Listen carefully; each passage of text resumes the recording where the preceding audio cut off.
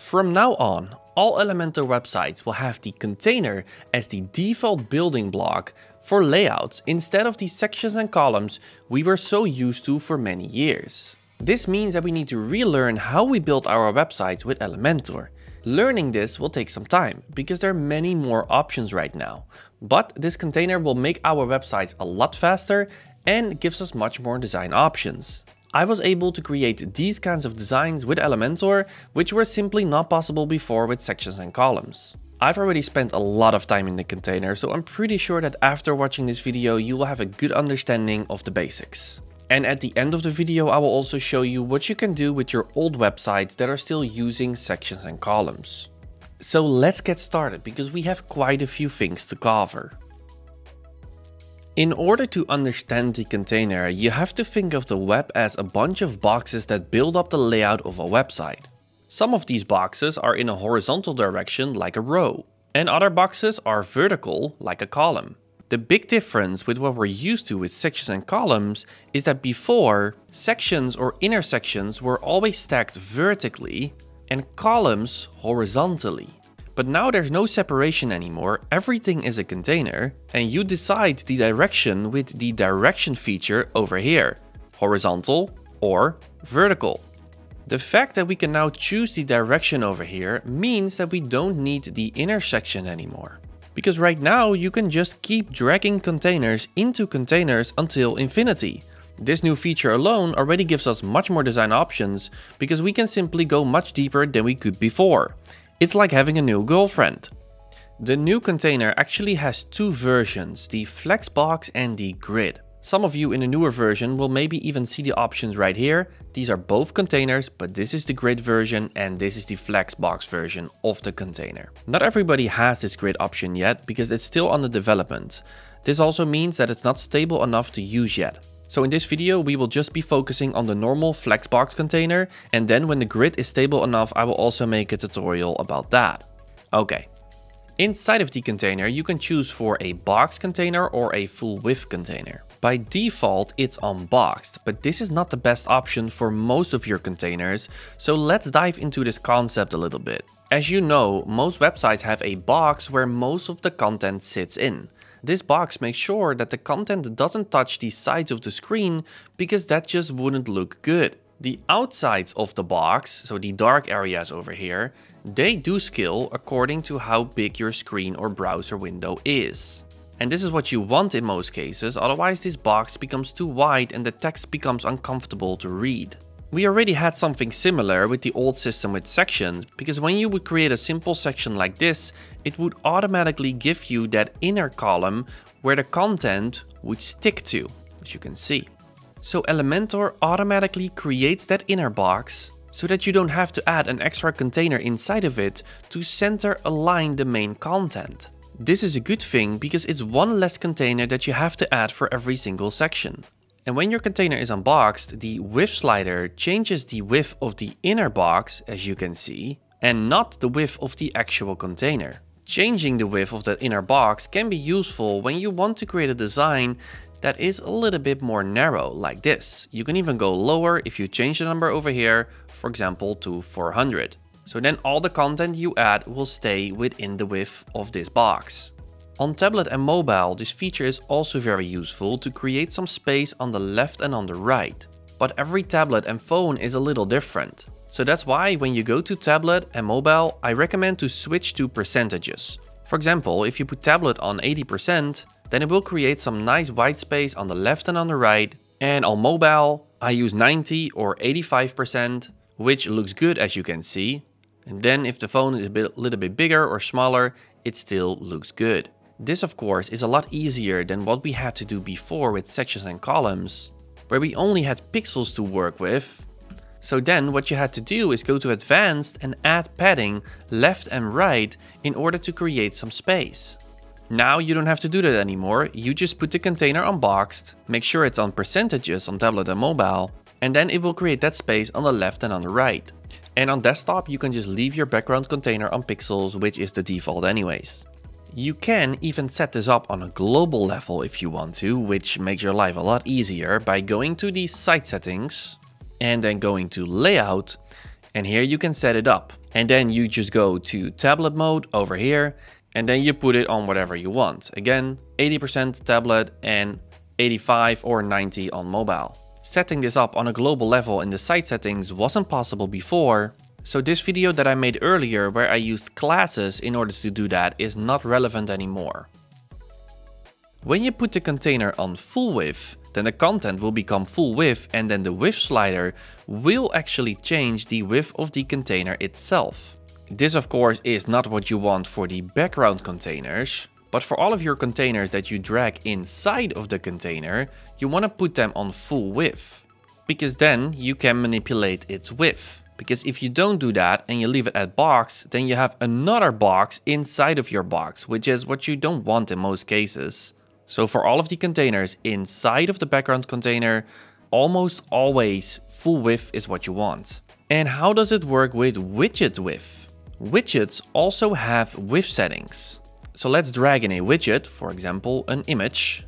You can also change the width of the widget by going to advanced and then playing with the width settings over here. If you put it on custom, then you can change the width. You can use pixels, percentages, rem and some other values, but I would try to use percentages as much as possible because that's better for responsive. So this slider in the advanced tab is similar to the full width slider setting in the container. So now you know how to change the width of widgets and containers. So now let's talk about alignment, because how do we align everything? The first big difference with sections and columns is that now in the container, widgets can more easily move around with the new align items and justify content. In the old system, this was kinda hard, because if you would drag a few widgets inside of a column, and you would try to, for example, center align these items, then nothing happened because the widgets stayed 100% wide, as you can see, even a small button like this. You could, if you want to, go to advanced as well and then change the width over here to a smaller size and then they would move, but then you had to do that for every single widget. But with containers, the items are also 100% wide by default, but once you start playing with the align items, then you will see that they actually move around and that is because the widgets go back to their most minimum size, as you can see. They're not 100% wide anymore. And this is great, but it's only the case if the widget doesn't have a lot of content.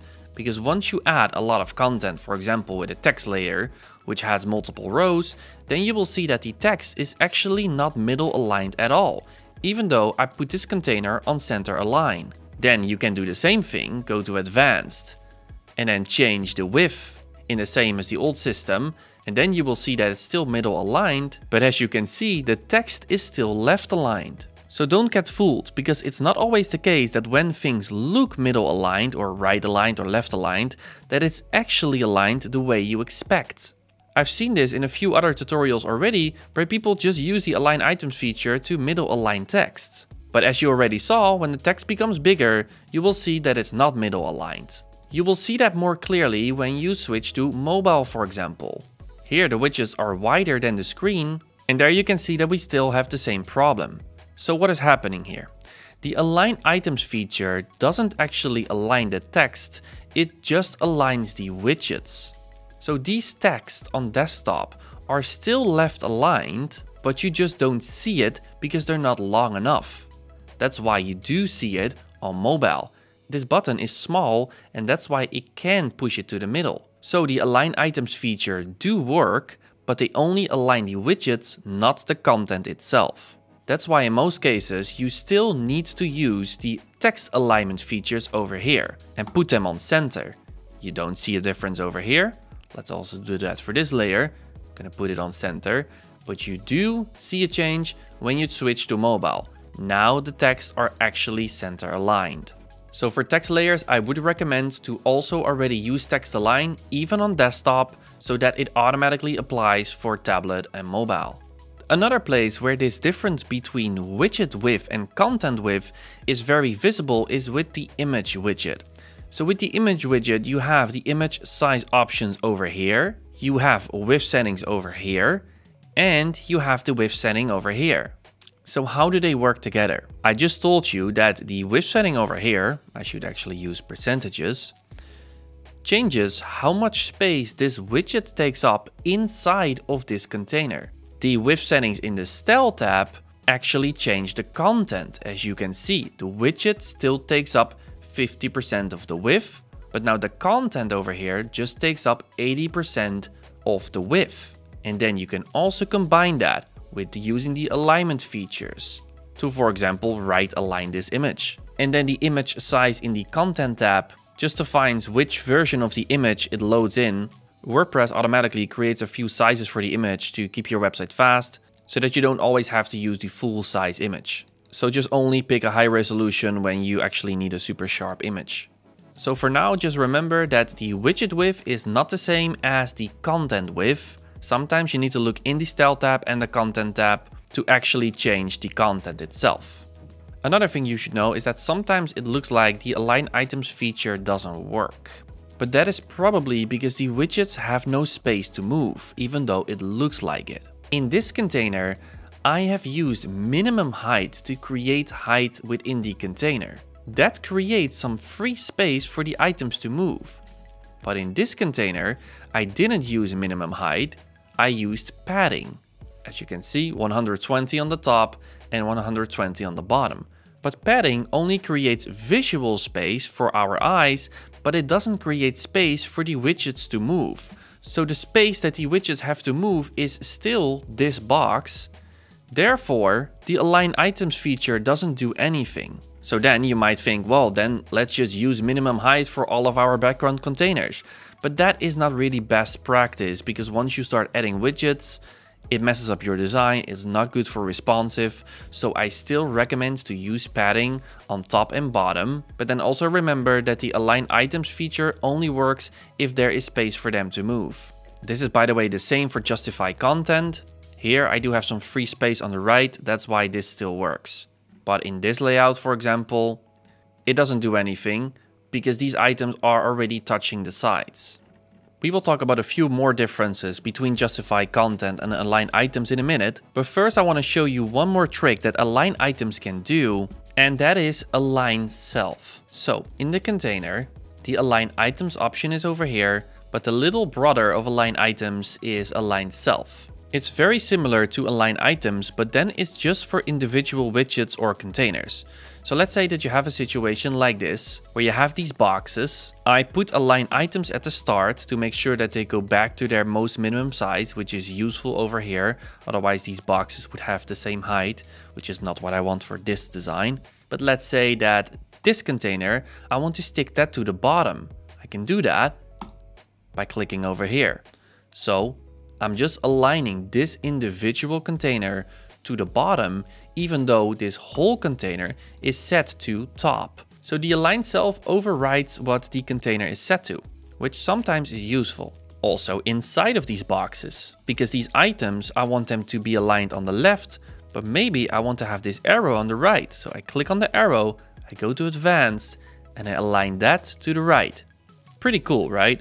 Okay, let's now talk about the differences between justify content and align items. As you can see, align items has the power to bring items back to their most minimum size.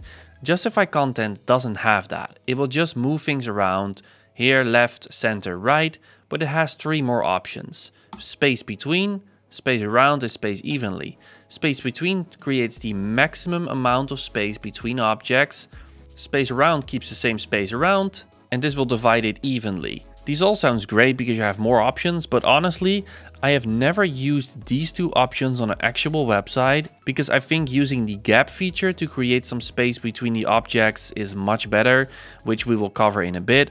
But I do use space between sometimes, not for a situation like this, but for some other situations. For example, this design, it's a little complex, don't worry about it for now, but I have a container on the right over here and I have a container on the left over here, so that when I close this window, these containers will stick to the sides.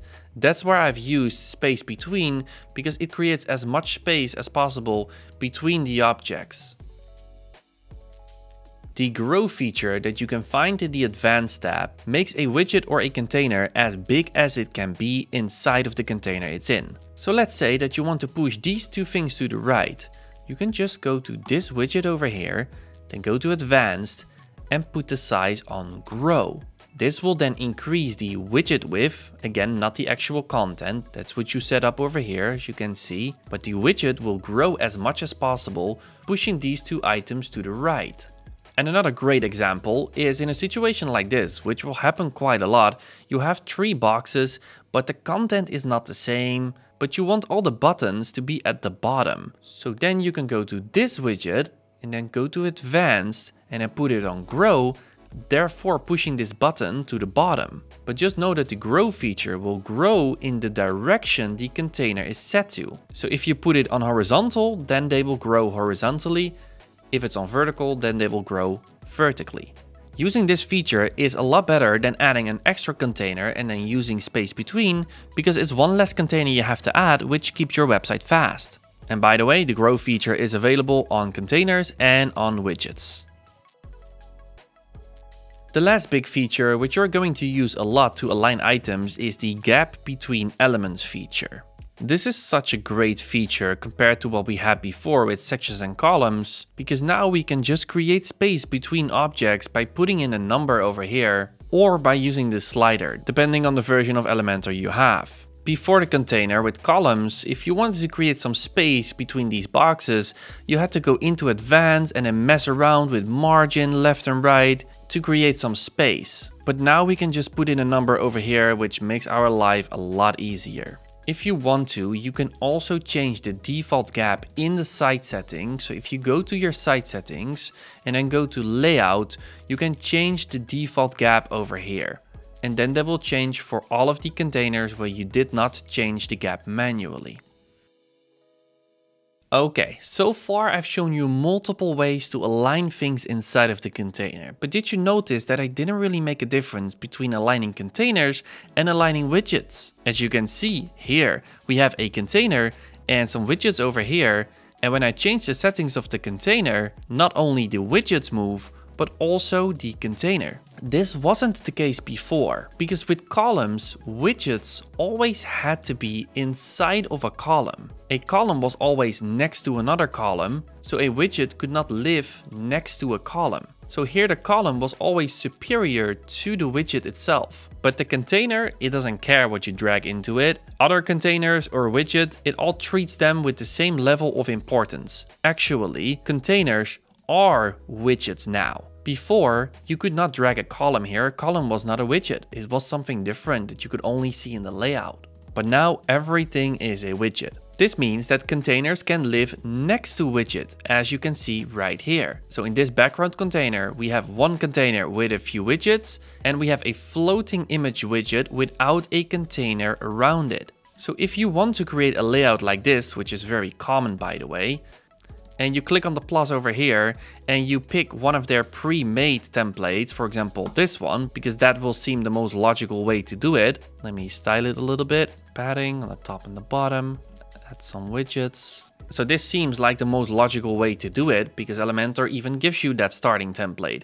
But you don't need this container. You can just drag this image widget outside of that container. You can delete this container just like that and then you just change the width of this image widget by going to the advanced tab and then playing around with custom, for example 50. And then you have the exact same layout, but you just removed one container, which is great. So use this to your advantage to use less containers on your website. Okay, let's now talk about rows. Adding widgets to a container that is in vertical position is easy because it will just become longer once you start adding more widgets to it. And this of course is because websites scroll vertically, so you can go on forever. But once you start working with horizontal, then you don't have enough space because the box container doesn't go on until infinity, it's only 1140 pixels. Therefore I found that working with row is a lot more challenging than working with the vertical option. But hey, you will need it a lot of the time, so let's talk about it. Okay, so by default, when the container is in horizontal mode, the container will try to squeeze everything into one row, no matter how many items you add or remove. As you can see, they grow and shrink automatically. This is all great for desktop, but it's not always what you want on tablet and mobile. So let's say that I have a four column layout here on my desktop and then I want to switch to mobile and here you can see that it will still try to squeeze everything into one row. This doesn't look that good. Now I want these widgets to be wider so I can try to change them over here with custom but as you can see let me try to put it back on percentages 100% is not 100% at all. It actually becomes smaller. And that is because it's still trying to squeeze everything into one row. So we need another solution here. What we need is wrapping. So in horizontal mode, if you apply the wrapping, then the width of the items will change. And this is because they will go back to their original size, the size that they actually need this widget has too much content, and therefore it will become 100% wide. You can of course change that if you want to by manipulating it like this. And let's, for example, put it on 40%. Let's copy this style and let's paste it to the other one. And then you will see that this one will also stay on one row. So what wrapping does is that it will create a new row if it doesn't fit on one row. But that means that you need to know how wide your widget should be.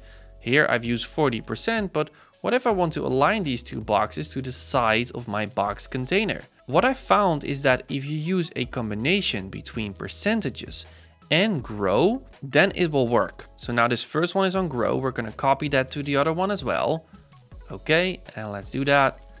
And as you can see, now we have a two column layout on tablet. And if we go back to desktop, it's still four columns on a desktop, which is what I want in this case. So again, what the wrapping does, it just checks like, okay, 40% times three. That's of course more than 100%. So that means that this one is gonna go on the next row. And then if you add grow, which is not added to the calculation, then it will grow to the size of the box container, which is what you want. As you can see, it scales beautifully. But let's say that this is still too wide for you. You want three columns on a tablet. You would think that using 33% would work, but let's try that, copy that to the other ones. This still doesn't work. Why is that? Well, that is because the gap in between is also added into the calculation. So 33% plus 33% plus 33 is 99%, but then the 20 pixels in between is more than 1% of the full width of this box therefore not fitting three on one row, therefore still creating a two column layout. And this then leaves you up for the math, like what kind of numbers do you use? But I've already done all the preparation work for you. You can just go to this link. When you want to have three columns on a desktop, you use 25%. 25% suggests that 4 will fit, but the gap as well is added to the calculations. That's why 25% will create 3 columns, not 4. That's why 20% will not create 5 columns, but 4. I hope that this makes sense. So you can use this page, I will link it below as well and then just use these numbers plus grow if you want to have a perfectly aligned design. I really hope this workflow becomes better when Elementor finally releases the CSS grid or the container grid, because right now this is a little bit of a hassle, but it's the best way that I found to do it. Another benefit of using wrap is that you can continue on multiple rows. So let's say that you want an eight column layout like this, you can just start duplicating like that. It will then create a layout like this, but if you duplicate it two more times, then it will create a layout like this. If you only have seven boxes, sometimes that happens. You don't have place for eight, then you can just add an, an empty container over here, give it the same settings. So put it on full width. In this example, 20 plus grow. And there you can see. Now, if you close this panel, as you can see, that perfectly works. And that's the same on tablet. I hope that that made sense because this was the hardest part, the most difficult part in this tutorial. And for now, let's move on.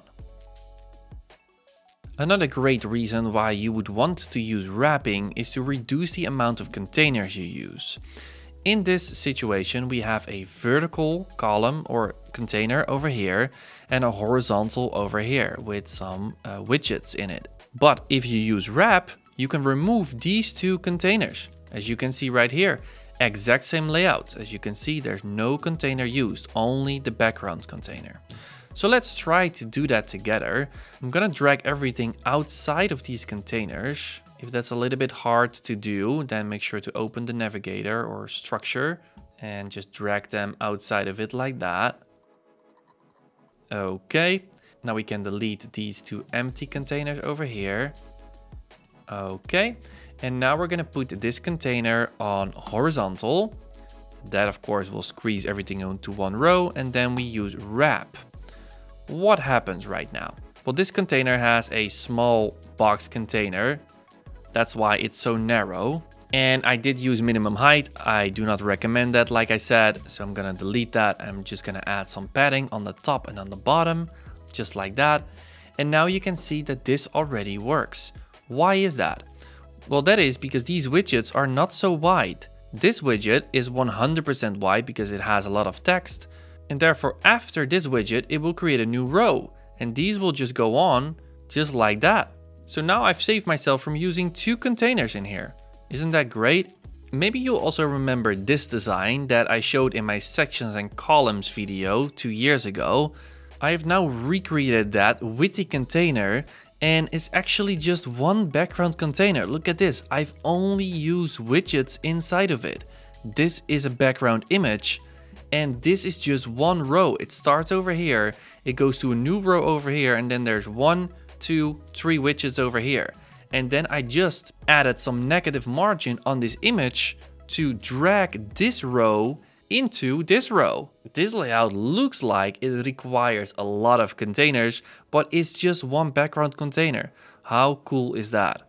So we have already talked about a lot of things with the container, but if after watching this video you still don't feel confident using the container or maybe other Elementor features like the site settings or dynamic content, or you're just tired watching multiple videos until you finally have the answer, then my Elementor Pro Mastery course might be interesting for you. A big benefit of a video course is that I can update the videos. That is not possible with a video like this. And Elementor keeps changing all the time, so that's why I thought it was a good idea to have a course. I have linked the course page below so you can check it out. All the information is on there and just see if it's something for you. So I hope that this will be a good solution for some people. I already have a lot of people who are happy with the course. For now, that was my little promo. Let's go to a few more features in the container, which I think you should know. Some easier features. Order. Order is a very useful feature for responsive mode because it allows you to switch up the position on different devices. For example, a very common situation is where you have an image on the right and then text on the left, but on tablet you probably want the picture to be on the top, so then you can just click on the layer, go to advanced and then you just put it at the start. And there it is. And if you go to mobile, then it will also save that setting. I've also found myself using this feature a lot in headers. So if you have a situation like this, a normal menu and maybe some social media icons, and you go to tablet mode, you probably want the hamburger icon to be on the right. So you could add another container and then change the position, but then you're adding another container. So what you can do is you just click on the widget, you go to advanced and you click on end. Boom, there it is. You might want to change the width of the widget a little bit, like this, but now your hamburger icon is on the right. And on mobile, it also saves it. I need to style this because now it doesn't look good, but you get the point. So that is what start and end does, but you can also use the number field over here. This is useful when you, for example, have a zigzag design, which is quite common. You have a situation where you have text over here, image right, and then the opposite direction, and then again.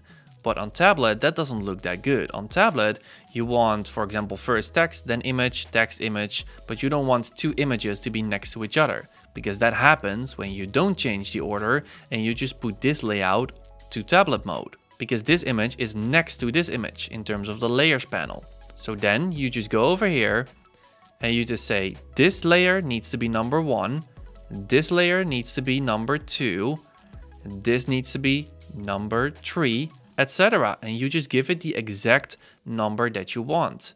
So that's also a great feature which you should know.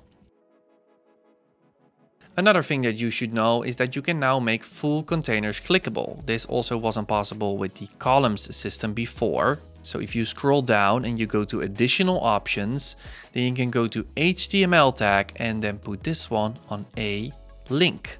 You can just paste a link over here or search for it dynamically. and then link this whole container to another page. Just make sure that then you delete all of the links inside of it. So if this button also contains a link, then your Elementor can crash. So if you decide to link a whole container to a page, then make sure that there are no other items that are also linking to something. Okay. Auto padding.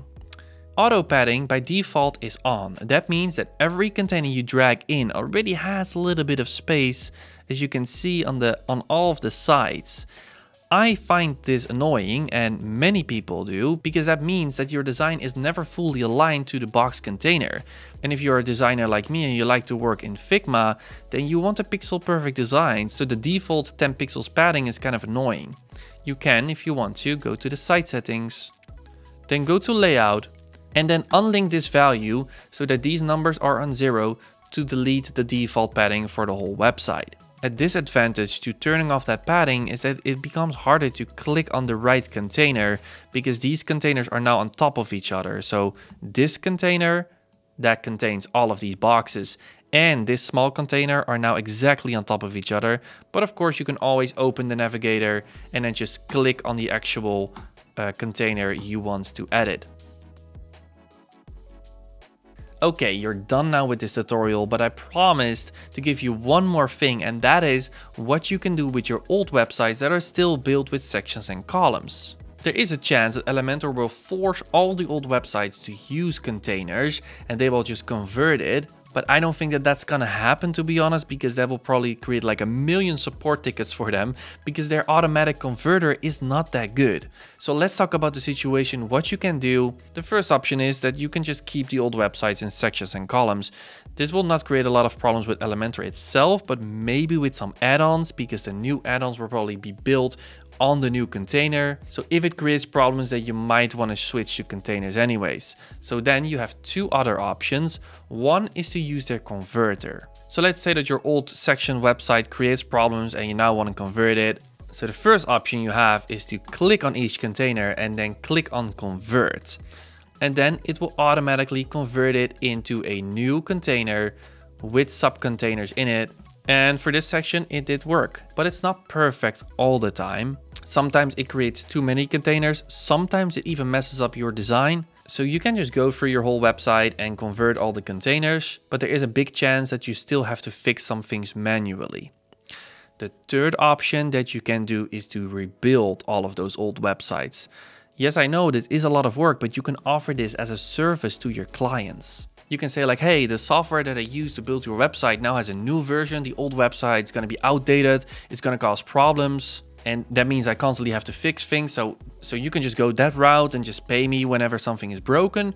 Or I can just rebuild your whole website. It will become faster. It will be better responsive, but you do have to pay something then. Well, some clients might want that. They want their websites to be fast, right? So you can offer that as a service. I personally I'm just going to rebuild a few websites. I'm not going to do all of them because some of my clients are just happy. And if Elementor forces all websites to use the containers and they're going to push everything to the converter, then I will just go in and fix a few things. And yeah, to some clients, which I think they love speed, I will just offer it. I will rebuild your whole website. It's a good practice for yourself as well. So it really depends on the situation, guys. I don't exactly know what's to happen. So use the converter or rebuild it or just keep it in the way it was. So as you can see, using Elementor is not the most easy thing there is in the world, even though their marketing is always like, well, anyone can do it.